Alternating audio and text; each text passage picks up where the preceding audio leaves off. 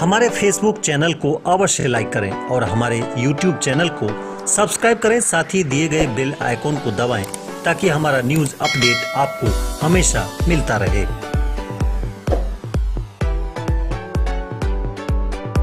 बारीहाट गोलीकांड को लेकर पुलिस सक्रिय होती दिख रही है। इस घटना के कारण शहर का माहौल तनाव में है। विभिन्न संगठनों और गोलीकांड में मारे गए युवक आकाश उर्फ़ मिट्टू के परिजन भी इस मामले के निष्पक्ष जाँच की मांग कर रहे हैं। एसपी विशाल शर्मा, सदर एसडीपीओ आनंद कुमार पांडे, फोरेंसिक जाँच टीम के साथ सदलबल घटनास्थल पर पहुँचे।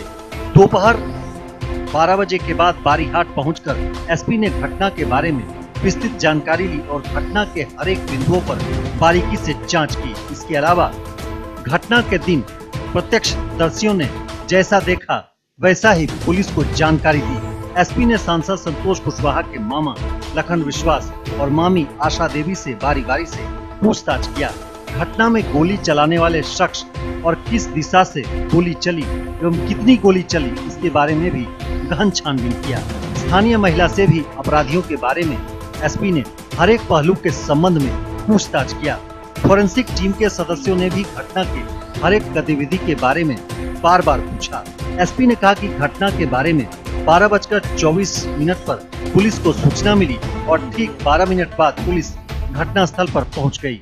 एसपी ने कहा कि 50 मिनट पहले घटना हुई। उन्होंने कहा कि समय पर पुलिस पहुँची। एसपी ने कहा कि जाँच के बाद दोषियों पर कार्रवाई की जाएगी। तो जैसे संजय कुशवाहा पे उन लोग देखा तो फिंगर लिया उसे अच्छा सामने। सामने। इसने मैं शंकर कुशवाहा को पकड़ लिया। पकड़ हो गया लिया तो फायरिंग सब ऊपर हो गया। शंकर कुशवाहा पकड़ लिया। वो जो गोली चला तो शंकर कुशवाहा झुक गया। और उसके बाद जो है इसी में वो भाई को लेके भाग मौका मिला बिट्टू सिंह भाग सुने एक बार वहाँ हुआ था एक बार आवाज़ आवाज़ हम दो बार सुने तो आपको प्रॉपर आवाज़ दो बार सुनाई जी एक तो सामने हुआ सर। वो छोटे वाले से चलाया जी जी। हाँ? बड़ा वाला नहीं? बड़ा वाला नहीं था। कैसा छोटा कैसा था? छोटा ऐसा था। था सर ऐसा?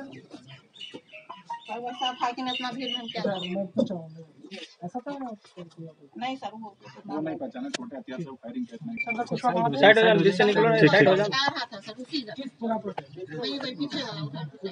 गली में कोने पर गली कोने पर मुड़ रहा है। रास्ता खड़े हुए खड़ा था इधर से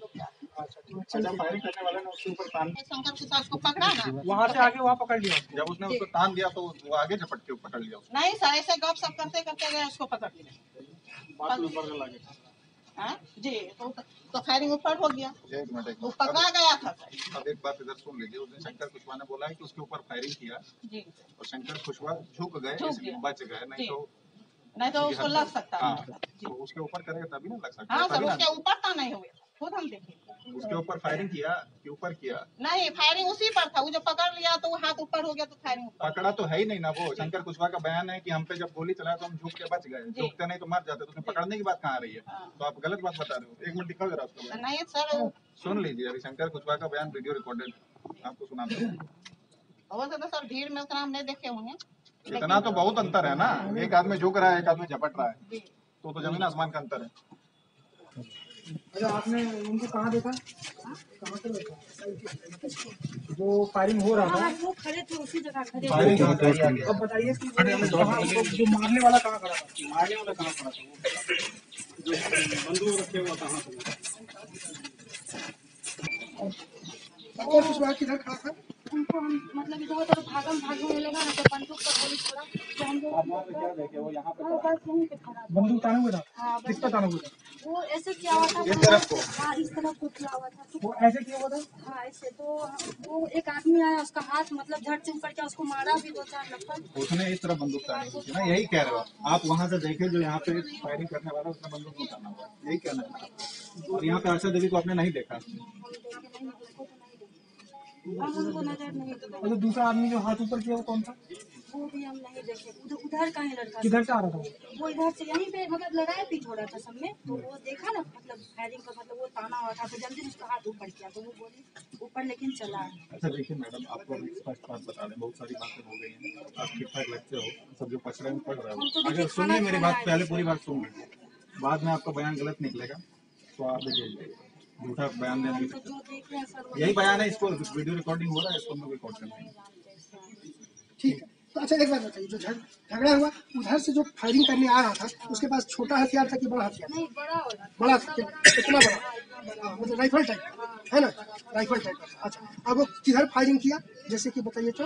इधर की तरफ़ या इधर की तरफ़ बस ये ठीक। नहीं आप बताए। हुआ किधर से? ताने हुए। हैं तो आपको डर नहीं लगा? आपको डर नहीं हाँ, लगा डर लगा तभी तो हम भागे ना। आपको लगा ना होगा ना कि हमारे तरफ़ गोली हाँ, लग हाँ, सकता है? तो हम सब कोई भाग गए उधर वाला सब भाग गया। इधर वाला उधर से आदमी भी था क्या? आप जो हाँ, आदमी इधर आदमी सब था लड़ा पीट कर रहा लड़ाई पीट कर रहा था। तो फायरिंग किया तो किसी को लगा नहीं? तो हाथ को लेकिन देखिए ऊपर किया। ऊपर- ऊपर किया वो कौन आदमी था पहचानते उसको? नहीं पहचानते यहाँ पे जिसका हाथ ऊपर किया गया उसके पास लंबा हथियार था वो इधर ताने हुए था उसका हाथ ऊपर कर दिया गोली ऊपर चला गया यही कहना है तो फोरेंसिक साइंस के साइंटिस्ट आए हुए हैं यहाँ पे भागलपुर से। उनके साथ आज आकर के यहाँ पे डिटेल में क्राइम सीन की रिस्ट्रक्चरिंग की गई है कि किस प्रकार से उस दिन जो इवेंट्स हुए थे उनका क्या सीक्वेंस रहा और किस प्रकार से घटना हुई। इसमें कई आई विटनेसेस भी आए। आई विटनेसेस को बुला के उनकी मदद से क्राइम सीन को रिस्ट्रक्चर किया गया। तो उससे निश्चित रूप से अच्छा खासा हम लोग को लाभ हुआ है। और उस दिन जो घटना का सीक्वेंस और इवेंट्स है वो हम लोग को जानने और समझने में निश्चित रूप से इसको इन्वेस्टिगेशन में मदद मिलेगी अभी तक की जाँच में क्या फाइंडिंग है? अभी तो फाइंडिंग देना बहुत जल्दबाजी होगी। अभी इन्वेस्टिगेशन चल ही रहा है और उसको हम लोग जाँच कर रहे हैं। हम लोग यही एस्टेब्लिश कुछ एक जो मेन एलिगेशन थे फायरिंग हुई है कि नहीं उसी को एस्टेब्लिश करने की कोशिश किया जा रहा है। बट अभी तक जितना इन्वेस्टिगेशन हुआ है उसमें फायरिंग की बात एस्टेब्लिश नहीं है। तो, सर जिन लोगों पे मामले दर्ज वगैरह की उस पर कोई कार्रवाई? कार्रवाई वही जैसे ही इसमें हम लोग सारे एविडेंसेस फाइनल कर लेते हैं उसके बाद सबकी अरेस्ट की जाएगी फोरेंसिक रिपोर्ट कब तक आ पाएगी? फोरेंसिक रिपोर्ट हम लोग जल्द से जल्द प्रयास करेंगे लेने का। फोरेंसिक डायरेक्टर से टच होना क्योंकि ये सेंसिटिव मैटर है तो हम लोग प्रयास करेंगे हम लोग जल्द से जल्द दूसरा उस दिन पुलिस के रिस्पांस को लेकर के बात चली थी तो उसको भी डिटेल में एनालाइज किया गया है।